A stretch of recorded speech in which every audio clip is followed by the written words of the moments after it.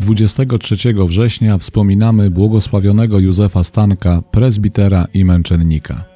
Józef Stanek urodził się w 1916 roku w Łapszach Niżnych w diecezji krakowskiej na pograniczu polsko-słowackim. Był ósmym, najmłodszym dzieckiem Józefa i Agnieszki, którzy zajmowali się rolnictwem. W 1923 roku rodzinę nawiedziła tragedia. Epidemia tyfusu w ciągu dziewięciu miesięcy pochłonęła życie obojga rodziców i dwóch dziadków. Opiekę nad Józefem przejęło starsze rodzeństwo, w szczególności 34-letnia najstarsza siostra Stefania i brat Wendelin. W 1929 roku Józef po ukończeniu podstawowej edukacji został wysłany do Wadowic. Tam ukończył szkołę średnią prowadzoną przez Pallotynów. Nie było to łatwe, bo gdy przyjeżdżał do tej szkoły, nie znał dobrze języka polskiego. W domu rodzinnym mówiono bowiem spiską góralską gwarą. Po maturze w 1935 roku wstąpił do Pallotynów w Sucharach nad Notecią koło Nakła. Tam odbył nowicjat. Pierwszą profesję złożył dwa lata później. Studia filozoficzno-teologiczne rozpoczął w seminarium Pallotynów w Ołtarzewie koło Ożarowa. Gdy wybuchła II wojna światowa, klerycy z Ołtarzewa zostali ewakuowani przed najeżdżającymi Rzeczpospolitą wojskami niemieckimi na wschód. Tam wpadli w ręce sowieckie. Józkowi udało się na szczęście uciec z naprędce zorganizowanego obozu przejściowego. Powrócił do rodzinnego Spiszu, w międzyczasie przyłączonego do współpracującego z Niemcami państwa słowackiego. Po krótkim pobycie w rodzinnych stronach wrócił do Ołtarzewa.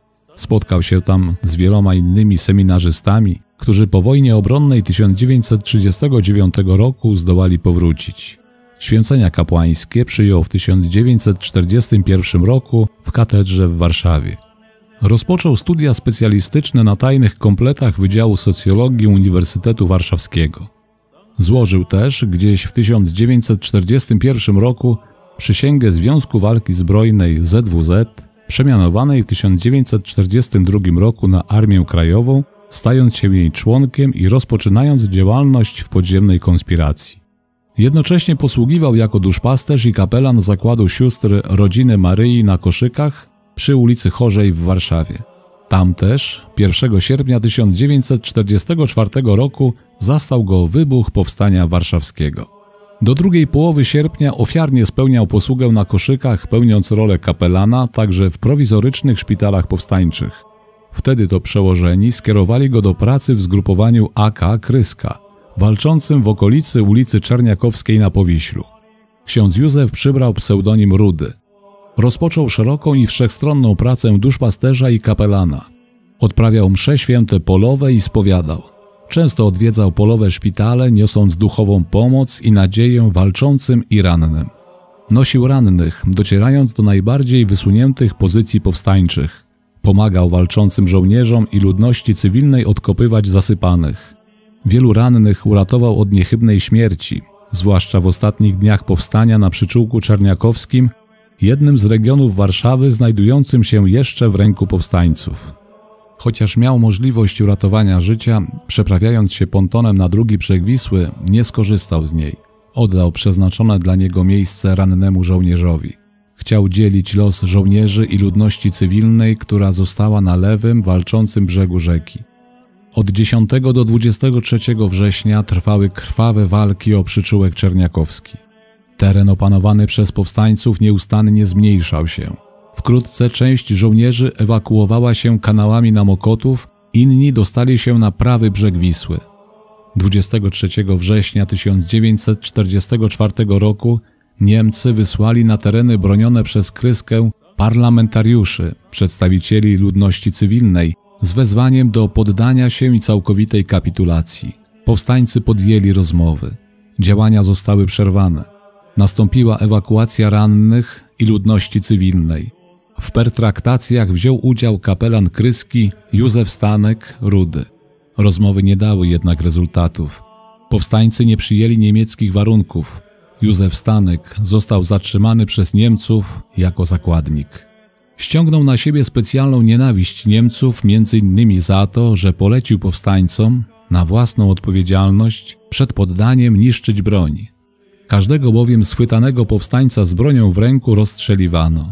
Ksiądz Józef nie chciał także, aby broń dostała się w ręce hitlerowców i służyła zabijaniu Polaków. Dla księdza Józefa Niemcy przygotowali specjalny rodzaj śmierci. Bity, popychany przez hitlerowskich siepaczy, został odprowadzony pod szubienicę, wystającą z muru żelazną belkę. Podchodził do niej spokojnie, z powagą i majestatem.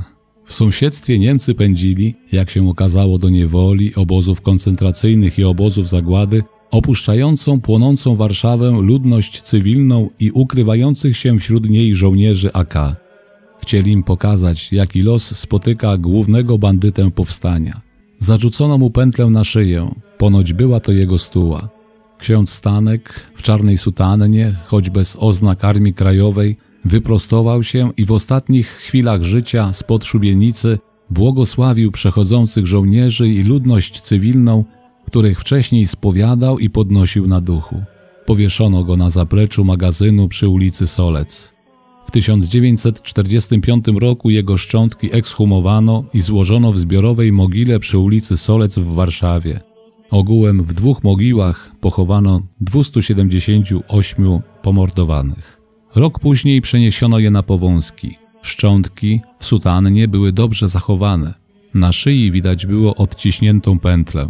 W kieszeni sutanny znajdował się kapłański brewiarz.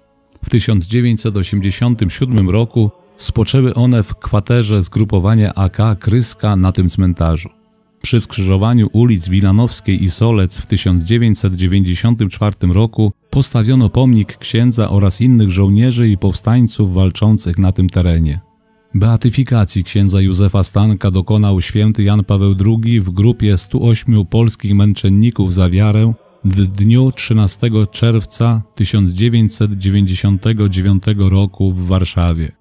W 2000 roku relikwie błogosławionego księdza Józefa Stanka zostały przeniesione do Dolnego Kościoła Chrystusa Króla w parafii pod wezwaniem świętego Wincentego Pallottiego w Warszawie. Cztery lata później księdza Józefa ustanowiono patronem kaplicy w nowo otwartym Muzeum Powstania Warszawskiego. Módlmy się. Wszechmogący wieczny Boże, Ty dałeś błogosławionym męczennikom Józefowi Stankowi prezbiterowi i współtowarzyszom udział w męce Chrystusa. Wspomóż swoją łaską naszą słabość, abyśmy naśladując męczenników, którzy nie wahali się umrzeć za Ciebie, odważnie wyznawali Cię naszym życiem. Przez naszego Pana Jezusa Chrystusa, Twojego Syna, który z Tobą żyje i króluje w jedności Ducha Świętego, Bóg przez wszystkie wieki wieków. Amen.